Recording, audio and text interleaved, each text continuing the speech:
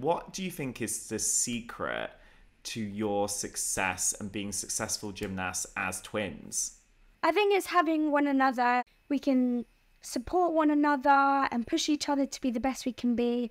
And I think that's really the key. Don't get me wrong, we do have our like arguments every so often, sometimes in the gym and outside the gym, but at the end of the day, we have each other and we do love each other so much and we just only want the best for each other. When we want to achieve something, it feels like we've both achieved it